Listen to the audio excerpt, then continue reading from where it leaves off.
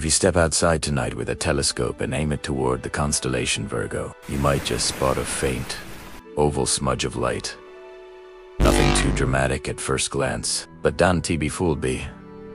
Cause what you re looking at is one of the most spectacular galaxies in the universe. The Sombrero Galaxy, also known as M104, through a backyard telescope, it looks small and dim, like a glowing coin lost in the dark. But then compare that to the breathtaking images captured by NASA's Hubble Space Telescope. Soothingly, soothingly, the smudge transforms into a cosmic masterpiece. A brilliant central bulge wrapped in a razor-sharp disk of dust, looking exactly like a giant Mexican hat floating in space. That's how it got its famous nickname, the Sombrero Galaxy. Now here's the twist. This galaxy is massive, over 50,000 light years across, home to hundreds of billions of stars, and about 31 million light years away from Earth. And hiding deep in its bright core, astronomers believe there's a supermassive black hole weighing a billion times more than our sun. Imagine a monster like that, anchoring an entire galaxy.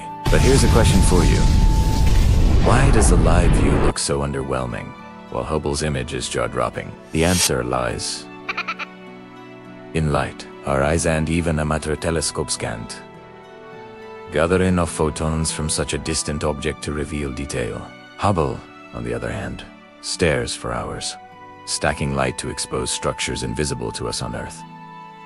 It's like the difference between glancing at a candle for a second versus studying it for hours until every flicker is recorded. And here is a mythbuster. Some people think those Hubble pictures are fake because of the colors. Not true. True. The colors represent real data from different filters, often mapped to highlight dust lanes, star populations, and gas. So while the hues are sometimes translated, the structures, the rings, the glothos are completely real. So next time you see Hubble's stunning shot of the Sombrero Galaxy, remember the live view through your telescope may look simple. But that faint smudge connects you directly to a galaxy filled with billions of suns swirling around a cosmic giant. And that's the true splendor of M104.